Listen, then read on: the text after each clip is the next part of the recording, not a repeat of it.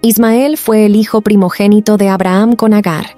Su madre, Agar, era la sierva egipcia de Sara, la esposa de su padre Abraham. Dios había prometido a Abraham que le daría una descendencia muy numerosa, incluso cuando él tenía una edad avanzada. Sin embargo, Sara era estéril y de acuerdo con la costumbre de la época, ofreció a Agar, su sierva, a Abraham para que pudiera engendrar un heredero de la familia. Es así como comienza la historia bíblica de Ismael. En este video entenderemos quién fue realmente Ismael según la Biblia. Antes de comenzar, te invito a suscribirte a nuestro canal, darle like y activar la campana de notificaciones para que te avisen cada vez que publiquemos un nuevo video en el canal. Y ahora, pasemos al video. En ese tiempo, cuando Ismael nació, Abraham ya tenía 86 años de edad. A la luz de los textos bíblicos, podemos entender que Abraham amaba a Ismael e incluso llegó a pedir que Dios lo considerara como su heredero prometido. Pero cuando Ismael tenía aproximadamente 13 años de edad, Dios renovó su promesa a Abraham, quien en ese momento tenía 99 años. Una vez más, Dios prometió darle a Abraham un descendiente de su propia esposa, Sara, y Dios también ordenó que todos los hombres de su casa fueran circuncidados como señal de su alianza. Como Ismael tenía 13 años cuando fue circuncidado, algunas tribus árabes suelen circuncidar a sus jóvenes a esa misma edad. Poco después, Isaac nació. El nacimiento del hijo biológico de Sara y Abraham causó una serie de problemas en la relación entre Sara y Agar.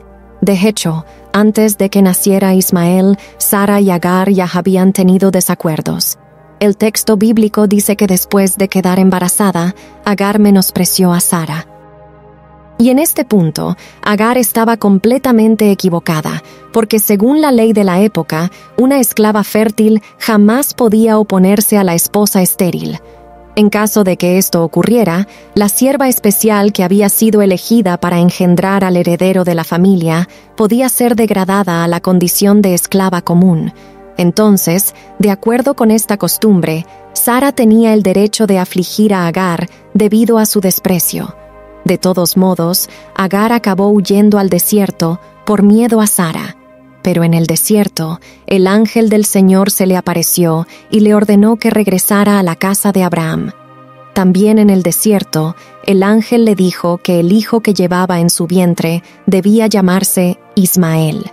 Por eso, el nombre Ismael significa Dios oye, porque el Señor escuchó la aflicción de Agar, como leemos en Génesis 16:11.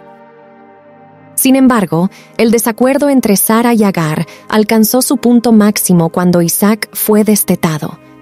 En la fiesta del destete de Isaac, Ismael se burló de él. Sara se sintió muy ofendida y exigió que Abraham enviara a Agar y su hijo lejos, como leemos en el capítulo 21 de Génesis pero este pedido de Sara iba en contra de las costumbres de la época. Después de todo, según los reglamentos de ese tiempo, Ismael no solo era hijo legítimo de Abraham, sino también de Sara, ya que había sido engendrado por su sierva personal. En casos muy extremos, el hijo del Señor con una sierva podía ser degradado de posición dentro de la familia, pero nunca podía ser expulsado. Obviamente, todo esto causó un gran dolor a Abraham. Pero Dios, una vez más, habló con el patriarca de Israel y le aseguró que no debía preocuparse por Isaac. El Señor cuidaría del hijo de la esclava y también le daría una gran descendencia. El texto bíblico no proporciona detalles sobre todo lo que involucró y motivó la solicitud de Sara de expulsar a Ismael y Agar, pero parece que más que algo específico que Ismael haya hecho, Sara lo veía como una amenaza para la posición de su hijo biológico en la familia. Entonces, después de ser consolado por el Señor, Abraham despidió a Agar y su hijo. Llevaron consigo pan y agua, pero en cierto momento se les acabó el agua y pensaron que morirían. La Biblia incluso dice que en ese momento Agar puso a Ismael debajo de un árbol y se alejó de él para no verlo morir. En este punto, es común que las personas imaginen que Ismael era un niño muy pequeño en ese momento, pero es muy probable que ya fuera un adolescente, con una edad de alrededor de 16 años. Y aún en el capítulo 21 del libro de Génesis, leemos que Dios socorrió a los dos, a Agar y a Ismael, y renovó su promesa de hacer de Ismael un hombre próspero. Ismael luego fue a vivir junto con su madre en el desierto de Berseba y luego en el desierto de Parán. Aunque Isaac se convirtió en el único heredero de Abraham, Ismael y los otros hijos de Abraham, con sus concubinas, también fueron beneficiados por él, como leemos en el capítulo 25 de Génesis. Esto significa que tanto el hijo de Agar, Ismael, como los hijos de Ketura, todos recibieron bienes materiales por parte del patriarca.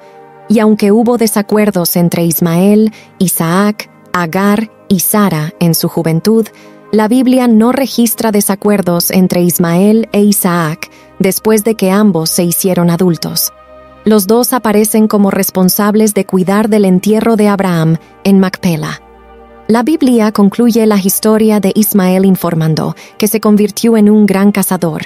Era muy hábil con el arco y las flechas. Agar buscó una esposa egipcia para Ismael y con él tuvo dos hijos y una hija. Más tarde, a la luz de los capítulos 28 y 36 del libro de Génesis, podemos entender que la hija de Ismael se casó con Esaú, el hijo de Isaac. Los nombres de los hijos de Ismael se mencionan en Génesis, capítulo 25, entre los versículos 13 y 15, y la mayoría de estos nombres se mencionan en otras partes de la Biblia como familias tribales de cierta influencia en ese momento. Incluso los descendientes de Ismael generalmente son identificados como ismaelitas en la Biblia. Se organizaban en doce tribus que vivían en campamentos móviles en el desierto del sur. La Biblia también dice en Génesis 25:17 que Ismael murió a la edad de 137 años, pero no menciona dónde fue sepultado, aunque la tradición musulmana afirma que fue sepultado en la Kaaba, en la Meca. Finalmente, en el Nuevo Testamento, Ismael es mencionado especialmente por el apóstol Pablo. En el capítulo 4 de su carta a los Gálatas, el apóstol utiliza la figura del hijo de la esclava en su alegoría sobre la oposición de los legalistas religiosos que perseguían a los creyentes gentiles, aquellos que nacieron según el Espíritu y disfrutaban de la libertad en Cristo. Con el tiempo, el nombre Ismael se convirtió en un nombre relativamente común. Por lo tanto, otras personas también son mencionadas en la Biblia con el nombre de Ismael, por ejemplo, había un descendiente de Saúl y del príncipe Jonatán que se llamaba Ismael.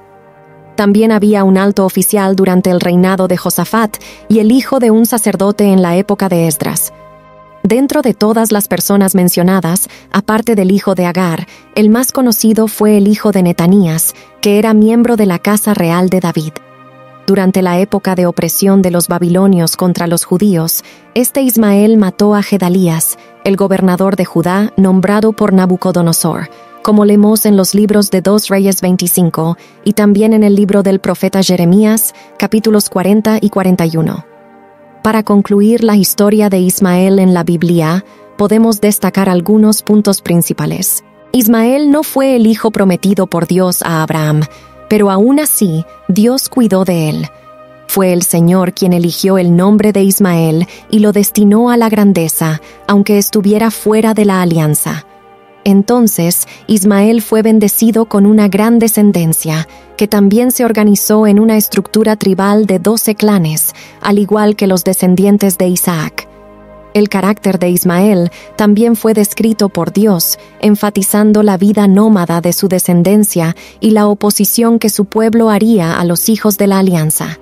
Con el tiempo, los descendientes de Ismael se unieron a los madianitas, que también eran descendientes de Abraham a través de Quitura, de modo que en varios pasajes bíblicos, los ismaelitas y los madianitas son básicamente el mismo pueblo.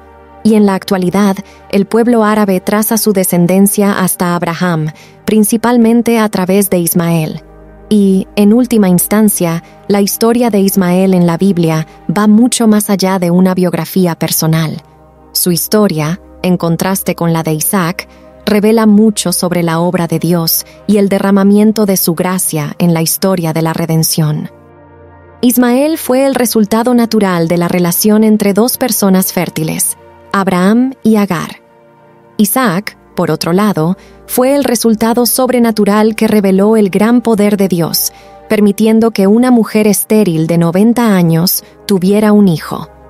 Esto ayuda a explicar la cita indirecta de Ismael por parte de Pablo en el Nuevo Testamento, como una figura de aquel que nació según la carne, en contraste con aquel que nació según el Espíritu. Y si te ha gustado el video de hoy, compártelo con amigos y familiares. Deja tu opinión en la descripción a continuación si ya conocías la historia de Ismael. Hasta el próximo video. Dios te bendiga.